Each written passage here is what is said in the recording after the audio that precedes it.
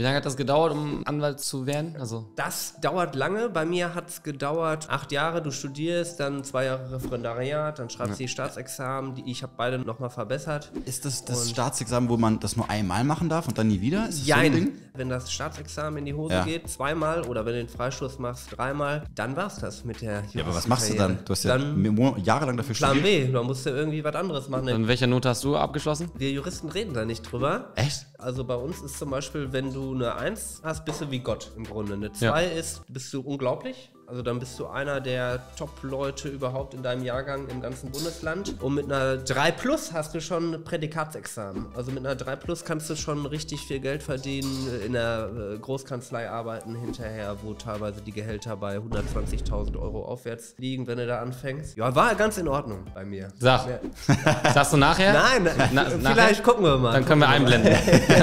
Dann blenden wir ein.